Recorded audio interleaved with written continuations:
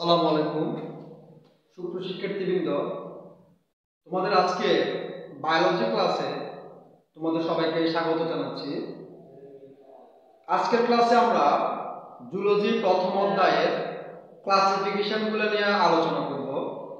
তোমরা সবাই মনোযোগ দিয়ে বোর্ডের দিকে খেয়াল করবে এবং খাতা কলম নিয়ে সামনে বসতে পারো। তোমাদের সুবিধার্থে, ঠিক আছে?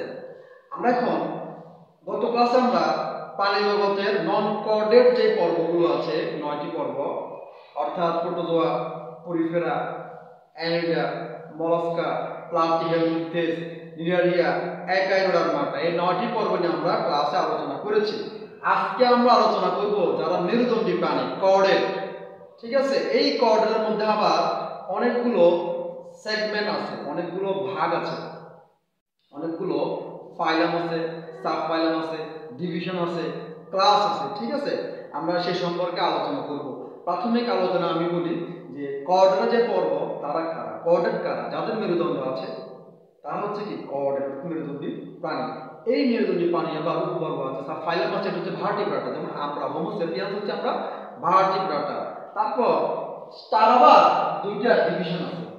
প্রথমেই দেখো ক্লাসিফিকেশন ফাইলাম কর্ডাটা ঠিক আছে? যারা মেরুদণ্ডী প্রাণী তার হচ্ছে কি কর্ডা সাব ফাইলাম হচ্ছে এটা হচ্ছে কি? ভার্টিব্রাটা ভার্টিব্রাটা আচ্ছা। এখন ডিভিশন ওয়ান হচ্ছে এক নাথা। ডিভিশন ওয়ান হচ্ছে কি?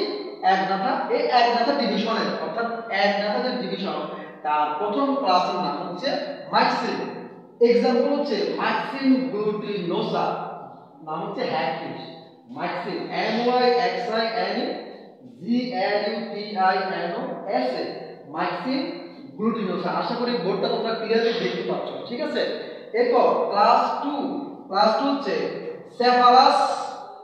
Cephalaspidomorphi C E P H A L A S P I D O D O M O R P H I Cephalaspidomorphi example হচ্ছে পেট্রোমাইজন ম্যারিনাস ল্যাম্পে তার সাধারণ নাম হচ্ছে lamprey Petromyzon P E T R O M Y Z-O-N Tetromyzon marinus M-A-R-I-N-U-S Tetromyzon marinus ঠিক আছে?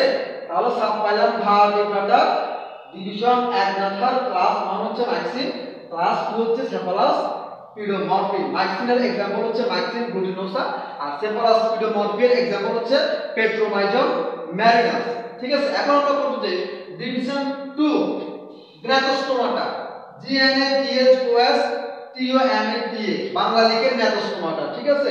জিটা বাংলা উচ্চারণ করে না।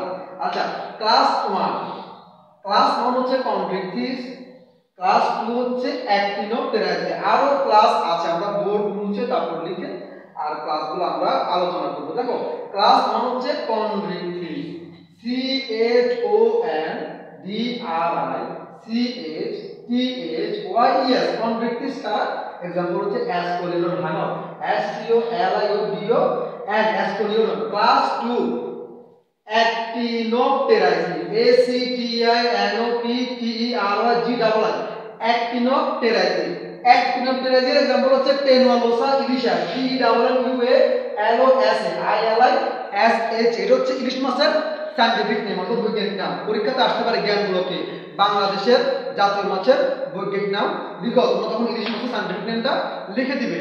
আশা করি তোমরা বোর্ডটা ক্লিয়ারলি দেখতে পাচ্ছ। বোর্ডের দিকে খেয়াল করো। বোর্ডের দিকে ভালো করে খেয়াল করো। আশা করি ক্লিয়ারলি তোমরা বোর্ডটা দেখতে পারতেছ। ঠিক আছে?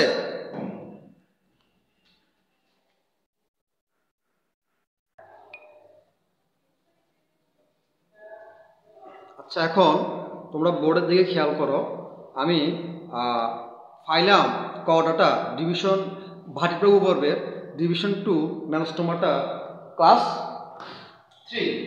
ক্লাস থ্রি, আমি তোমরা এখানে এমবিবিএ ক্লাস দিতে পারব, আর যে সাত নম্বর যে ক্লাস সার্কোপটেরাইজিং একটি নিয়ে নে বা এগুলা সিরিয়ালি সাথে নামালি আনতে পারো। তোমাদের সুবিধার জন্য বলছি যেমন দেখো, ক্লাস থ্রি হচ্ছে অ্যাম্ফিবিয়া অ্যাম্ফিবিয়া কারা?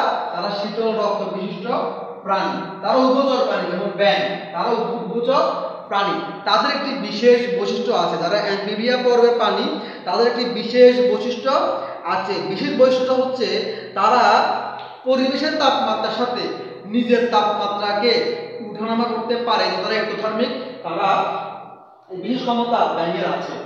সে গোচর পানি তার অগ্রপদে চারটি আর পেছনের পায়ে পাঁচটি করে নখরবিহীন আঙ্গুল থাকে আর কার থাকে অ্যান্ডিবিয়া পর্বে থাকে এক্সাম্পল হচ্ছে ব্যাগ তোমরা কি, আমি আশা করি বুঝতে পারতেছো? ক্লাস ফোর হচ্ছে র্যাপটাইলিয়া এক্সাম্পল হচ্ছে নাজা নাজা গোবরা সাপ নাজা নাজা গোবরা সাপ র্যাপটাইলিয়া পর্বের পানি, গোষ্ঠ, তারা বুকে ভর দিয়ে চলে, তারা বুকে ভর দিয়ে চলে র্যাপটাইলিয়া পর্বের পানি, তাদের দুই জোড়া পা থাকে। হ্যাঁ পার মধ্যে নখরযুক্ত আঙ্গুল থাকে পাঁচটি করে, আর তাদের অন্তনিষেক হয়। এই জন্য তাদের লার্ভা দশা অনুপস্থিত। অর্থাৎ যে সকল প্রাণী বুকে ভর দিয়ে চলে, তারা হচ্ছে কি উভচর প্রাণী, যেমন কুমির। টিকটিকি অজগর সাপ দৌড়া সাপ, এরা হচ্ছে কি র্যাপটালিয়া করবে।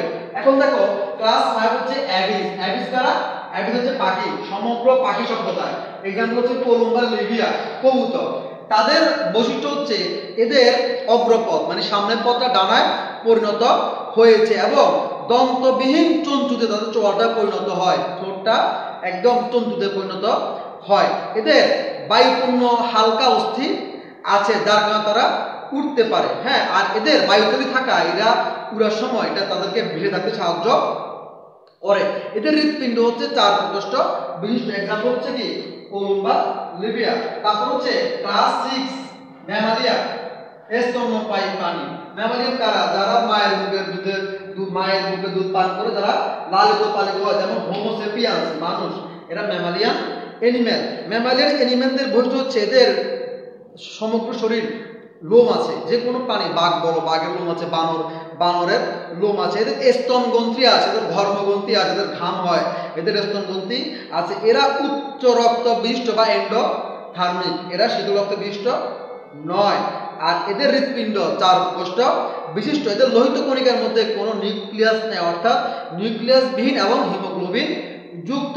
এক্সাম্পল হচ্ছে Panthera, tigris Homo sapiens etcetera এদের এক্সাম্পল দেখো ক্লাস 7 হচ্ছে সার্কোপটেরাইজিং এটা এক্সাম্পল হচ্ছে নিউ সেরাটোগাস ফ্রস্টেরি এটা অস্ট্রেলিয়ান লাংফিশের সায়েন্টিফিক নেম আমি আশা করি তোমরা বোর্ডটা ক্লিয়ারলি দেখতে পাচ্ছ। সার্কোপটেরাইজিং সার্কোপটেরাইজিং হচ্ছে অস্ট্রেলিয়ান লাংফিশের সায়েন্টিফিক নেম ঠিক আছে অস্ট্রেলিয়ান লাংফিশের সায়েন্টিফিক নেম হচ্ছে নিউ সেরাটোগাস ফরস্টেরি ঠিক আছে আশা করি তোমরা বোর্ডটা ক্লিয়ারলি দেখতে পাচ্ছ তাহলে আজকে ক্লাস থেকে আমরা শিখতে পারলাম যে ফাইলাম কোঅর্ডিনেটের ফাইলাম হচ্ছে ভারিপাটা ভারিপাটা দুটি বিষয় এক হচ্ছে গ্যান্থোস টোমাটা আর গ্যান্থোস যে ফাইলাম তা হচ্ছে সাতটা ক্লাস আছে, ঠিক আছে? Actinopterygii cephalaspidomorphi sarcopterygii amphibia reptilia aves and mammalia ঠিক আছে? আশা করি তোমরা এই টপিকগুলো বইতে দেখবে, দেখে ভালো করে অধ্যয়ন করবে, খাতার মধ্যে হ্যান্ড করবে শনাক্তকারীর বৈশিষ্ট্যগুলো খাতার মধ্যে লিখবে, পরীক্ষাতে আসে, একটি করে উদাহরণ এবং দুইটি করে শনাক্তকারী বৈশিষ্ট্য প্রাণী জগতের কডাটা পর্বের শ্রেণীবিন্যাস? করো বুঝতে পারতেছ? একটি করে উদাহরণ এবং দুটি করে শনাক্তকারী বৈশিষ্ট্য সহ কডাটা পর্বের শ্রেণীবিন্যাস? করো ঠিক আছে? যদি আসে, আমি আশা করি তোমরা পরীক্ষাতে আনসার করতে পারবে। তো সুপ্রিয় শিক্ষার্থীবৃন্দ, আজকের ক্লাস আর বর্ধিত করব না। এখানে আমি শেষ করছি। তোমরা সবাই ভালো থাকো, সুস্থ থাকো। আল্লাহ হাফেজ। আসসালামু আলাইকুম রহমতুল্লাহ বারাকাতুহু।